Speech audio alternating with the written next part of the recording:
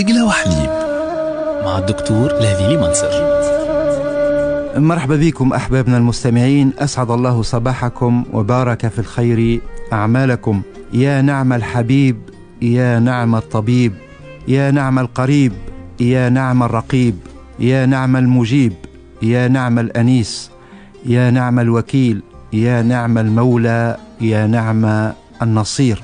هذا من الدعاء من بعض صيغ الدعاء المأثورة. وهذا من التوجه إلى الله سبحانه وتعالى بأسمائه الحسنى بأسمائه الطيبة والكريمة. وهذا من المناجاة. والصيغ في الدعاء وفي غير الدعاء من أمور دينية الصيغ محبذة ومحمودة لأن فيها معاني جليلة. هناك صيغ في الدعاء لرسول الله صلى الله عليه وسلم وهناك أدعية واردة في القرآن الكريم وهناك أدعية واردة عن آل البيت والصحابة رضي الله عنهم جميعا وهناك أدعية هي من إنشاء وبناء العلماء والعارفين. وكل هذا خير وكل هذا حامل لمعاني عظيمة وكل هذا فيه أسرار معنوية وروحية جليلة. ولكن كل هذا لا يكفي. لماذا؟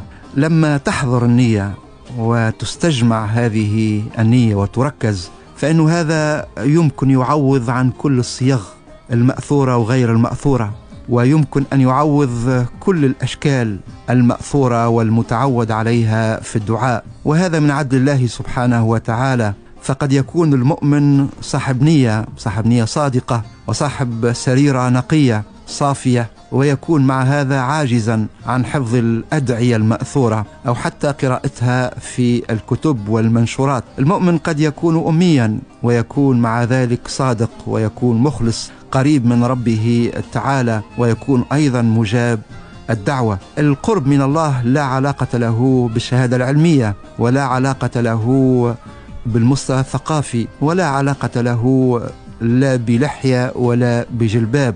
ولا بما ينطق اللسان.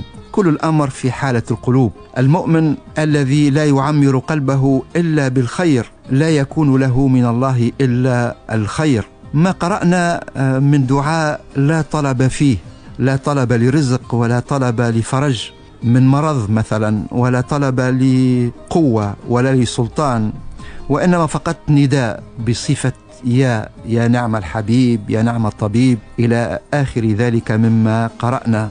هنا في هذا الدعاء هنا مؤمن ينادي ربه وما أعظم هذا وما أجمل هذا.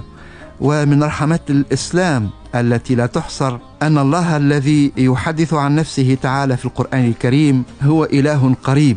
والقريب إذا دعوته وناديته أجاب إذا قلت له إلهي أو ربي قال لك عبدي.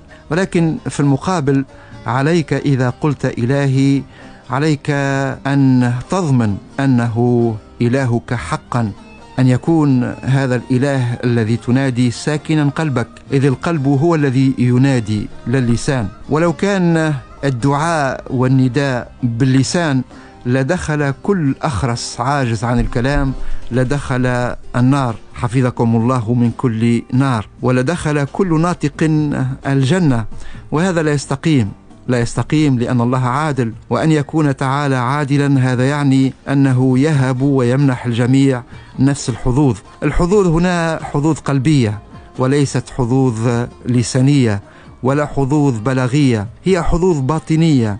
قلبية هي ليست حظوظ ظاهرية وهي حظوظ في مستوى النية لا في مستوى الشكلية. ومفيد أن نقول كل هذا ونذكر بكل هذا ليشعر كل مؤمن بأن طريقه إلى الله سالكة وأن كل الأبواب الإلهية مفتوحة بل إنها مشرعة. الذي يحسن الدعاء والذي لا يحسنه. الذي يحفظ من الأدعية المأثورة والذي لا يحفظ. الذي يتمتم دعاءه والذي يجهر به. الذي يدعو واقفا أو جالسا أو على جنبه. الذي يدعو بليل أو يدعو بنهار. الذي يدعو بصلاة أو يدعو بمجلس الذي يدعو منفردا والذي يدعو بجماعة. هام جدا أن يستشعر المرء قرب الله منه. وإذا كان من شك فالأولى أن يكون الشك لا في قرب الله تعالى من العبد وإنما في قرب هذا العبد من ربه. هذا يكون في كل الحالات وفي كل الوضعيات ولكن الضرورة والحاجة تزيدان عند الضيق وعند العسر وعند الأزمة. مجرد استشعار قرب الله ومن دون الحديث عن استجابة الدعاء مجرد هذا الاستشعار يقوي الإنسان ويشد أزر هذا الإنسان ويجعله يتمالك فلا يضعف ولا يتزلزل ولا يضيع. دمتم رحماء ودمتم مرحومين. دقلة وحليب مع الدكتور لهذيلي منصر.